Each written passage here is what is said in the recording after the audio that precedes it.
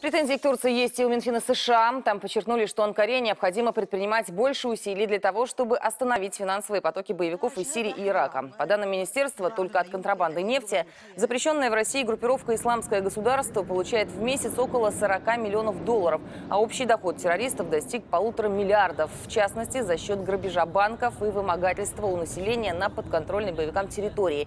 Еще одним источником прибыли группировки «Исламское государство» стала продажа предметов искусства. Из Сирии значительная часть выводится также в Турцию, и возвращать артефакты, как говорят в Дамаске, Анкара не торопится.